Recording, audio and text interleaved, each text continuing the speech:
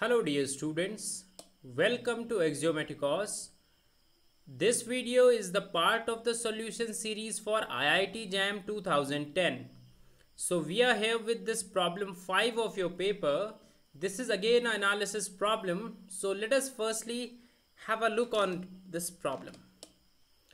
It says that f is a function from the open interval 1 comma 4 to r which is a uniformly continuous function. Let an be a Cauchy sequence in 1 comma 2 and let xn is defined like this okay? And yn is defined like this. For all n belongs to natural number. Then which of the following statements is true?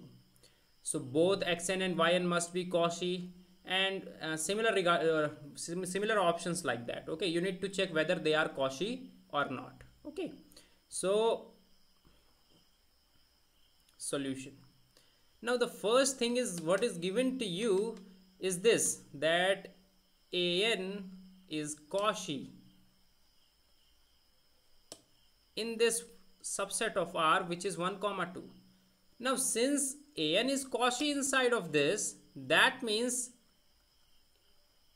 an is a Cauchy sequence in its superset are you getting my point or not? Now the most important thing that we will be using here is a result. And what is that result? It's very simple and easy to remember.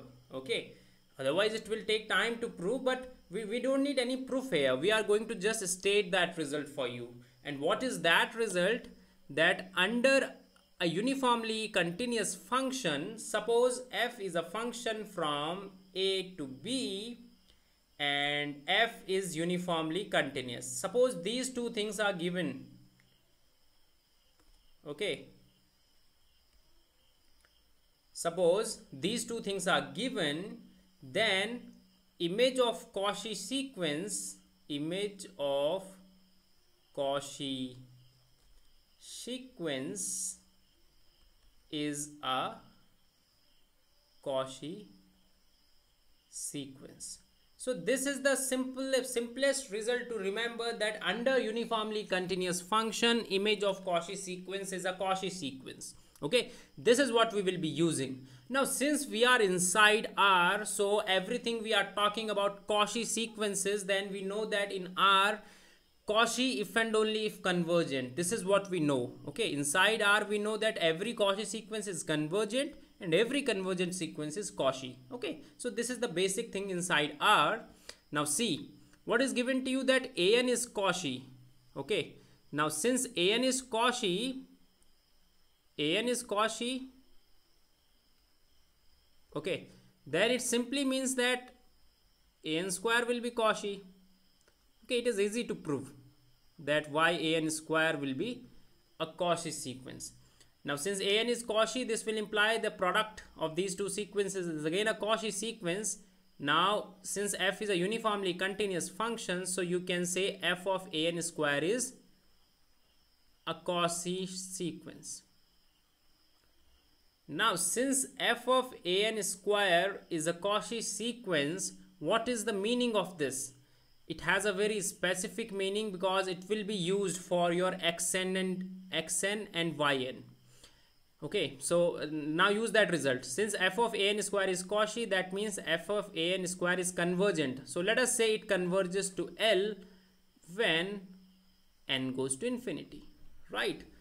Now let us check what are your uh, xn and yn so xn is an square f of an square right.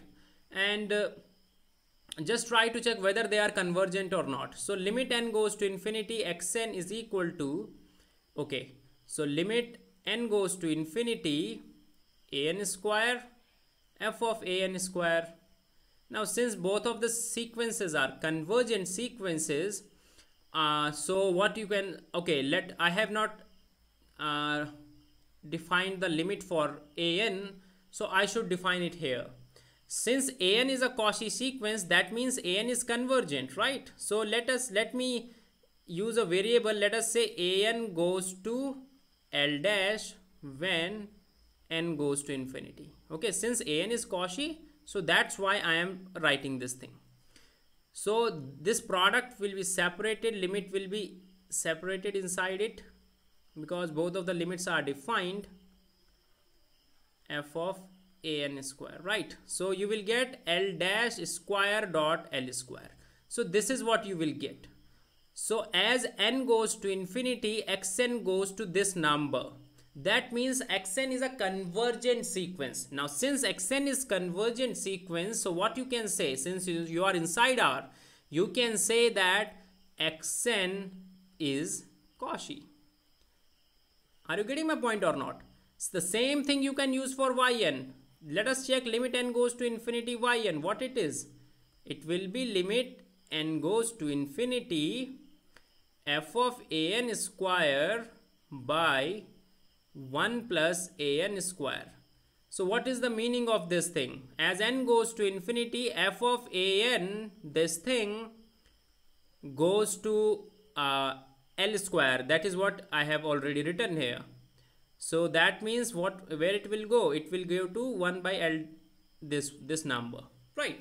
So yn is again a convergent sequence. Right. Now since yn is Cauchy, therefore what you can say that yn and xn both are Cauchy. Okay, yn is a convergent, so you can say yn is also Cauchy. Okay, so finally what you have proved that both xn and yn will be Cauchy. Okay, so what is the important result that you have used? You have used this result that under a uniformly continuous function, image of a Cauchy sequence is Cauchy. And also you have used that inside uh, inside real numbers what happens is that every Cauchy sequence is convergent and every convergent is Cauchy. So you can write that thing as Cauchy if and only if convergent. You got my point? So therefore A must be your correct option. So now let me uh, mark your correct options. This is correct this is incorrect this is incorrect and this is incorrect. So finally you have proved that a is a correct option right? So thank you